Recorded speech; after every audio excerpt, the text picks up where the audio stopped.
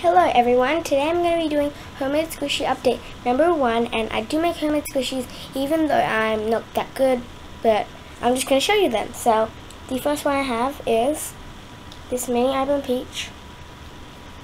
Comes on a ball chain. This is my newest one since I haven't made the packaging. It's Pretty squishy. Got the top leaf.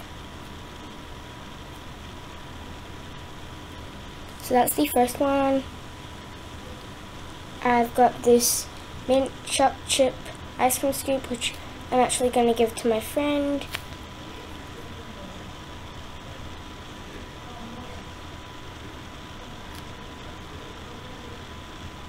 It's got a really cute face.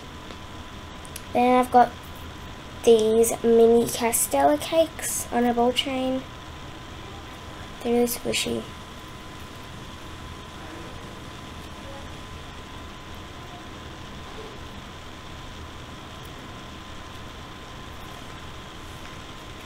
Got this mini marshmallow.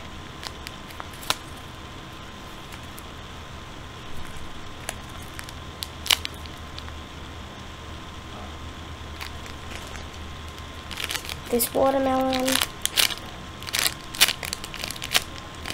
Tag. This fish.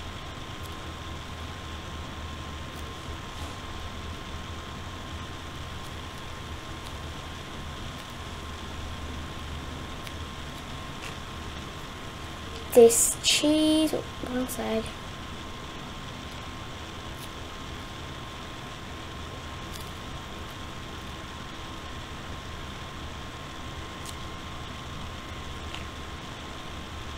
And finally this really bad Pop-Tart.